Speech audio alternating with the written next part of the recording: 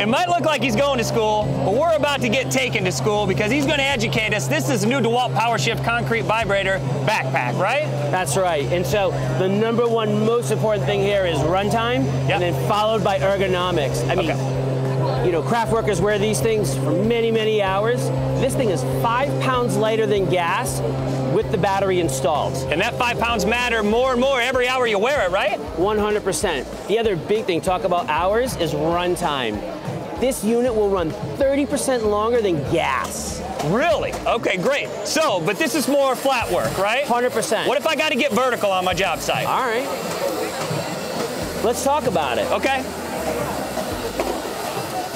We also have a Power Shift Power Pack vibrator as well for all walls and columns.